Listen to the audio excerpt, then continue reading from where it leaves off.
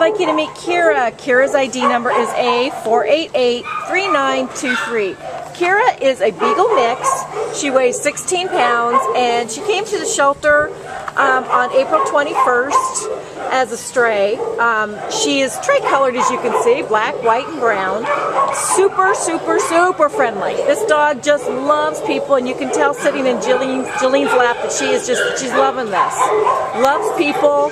I think she'll make a great, um, you know, little family pet if the children are older, only because she, she's not that big. She's only 16 pounds.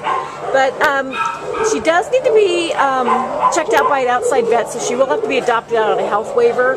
She is eight years old. And uh, Jillian, what else do you want to say about this girl? She's just so sweet. She bonded with me right away, just crawled right into my lap. She loves to be held, just a little lap dog, just perfect for sitting on the couch watching TV. You know, for eight years old, very perky.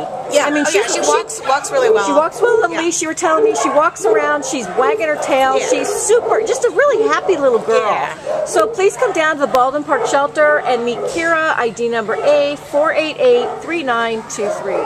Goodbye, Kira.